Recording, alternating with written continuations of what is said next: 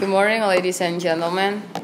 So, do you know that one single cigarette butt may be small, but they will add up to a huge problem, and this problem has not been highlighted often?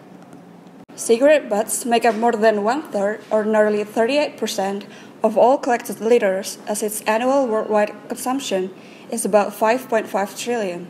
Disposing of its butt on the ground or out of the car's window is so common that 75% of smokers are reported doing it. The filter of cigarette is made of cellulose acetate which is a form of plastic that is very slow to degrade. A typical cigarette butt can take from 18 months to 10 years to just decompose. Even though it degrades, it will still leach toxic chemicals into the environment and contaminate water. Studies done by Johns Hopkins University the U.S. Center for Disease Control and Prevention, and even the tobacco industry show that this contaminate can get into the soils and waterways, harm or kill organisms, and degrade ecosystem.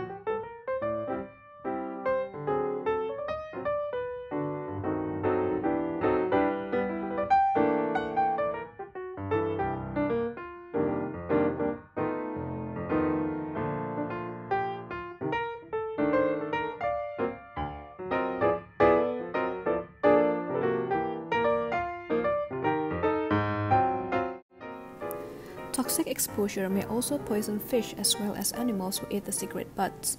Cigarette Butt Pollution Project has found out that one cigarette butt soaked in a liter of water for 96 hours leaches out enough toxins to kill half of the fresh or saltwater fish exposed.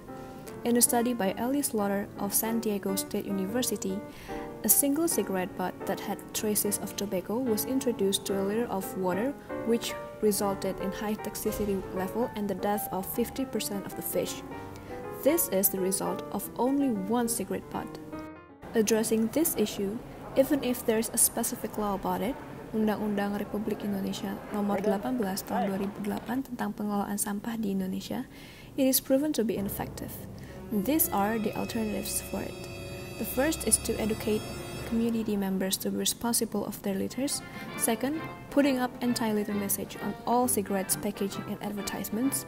The third, distributing small, free and portable ashtrays. The fourth, placing and maintaining outdoor ashtrays in areas where smokers congregate.